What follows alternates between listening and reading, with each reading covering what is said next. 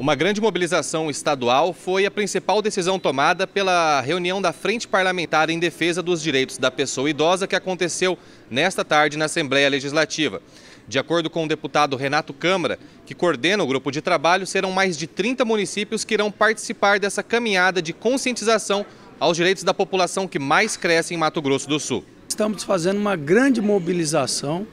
em todo o estado do Mato Grosso do Sul, mas principalmente nos municípios onde tem a frente parlamentar municipal, que foi uma demanda aqui da frente parlamentar estadual para que as câmaras de vereadores pudessem também estar discutindo é, no seu plenário, dentro da sua atuação, no seu município, os vereadores levarem essa discussão também para as câmaras municipais. Então nós queremos fazer um lançamento da Semana Estadual do Idoso com todas as frentes, mas cada uma no seu município, então alcançar mais de 20, melhor dizendo, mais de 30 é, frentes parlamentares que já estão é, é, instauradas nos municípios. A semana foi instituída em 2015 e neste ano terá sua abertura em Campo Grande no dia 25 de setembro no Asilo São João Bosco, em um evento que contará com a participação de diversos órgãos da administração pública estadual,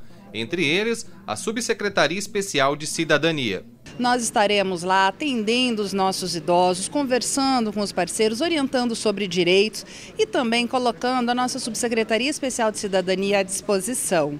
Nós ofereceremos durante essa semana duas ações do governo do estado de atendimento no Procon, um dia exclusivo para o atendimento a pessoas idosas o projeto Idoso em Dia. E também lá no Centro Esportivo da Vila Almeida, recentemente inaugurado, a Funda Esporte vai fazer uma ação muito bacana de lazer, de esporte, de atividades para melhor qualidade de vida dos nossos idosos. Vai ser aberta a toda a população do bairro. O projeto Idoso Ativo. Além disso, diversas programações que se estendem até 1 de outubro também estão confirmadas com a oferta de alguns serviços, como a orientação jurídica, por exemplo. Para ajudar nesta tarefa, a OAB e a Defensoria Pública também se comprometeram em participar da semana. Muito importante a Defensoria Pública participar desse momento, até porque agora, atualmente, nós temos um núcleo específico para essa temática, que é o Núcleo de Direitos Humanos, que tem atuação estadual de cunho coletivo e um dos incisos desse, da resolução que instituiu é justamente os direitos da pessoa idosa. Então é muito importante que a gente participe, que a gente eh, esteja presente e ciente dessa importante é, atuação do, do Parlamento de Mato Grosso do Sul. Nós estaremos proporcionando o apoio jurídico na caminhada que será realizada agora no final de setembro e nós estaremos dando esse apoio com esclarecimentos jurídicos lá juntamente com as outras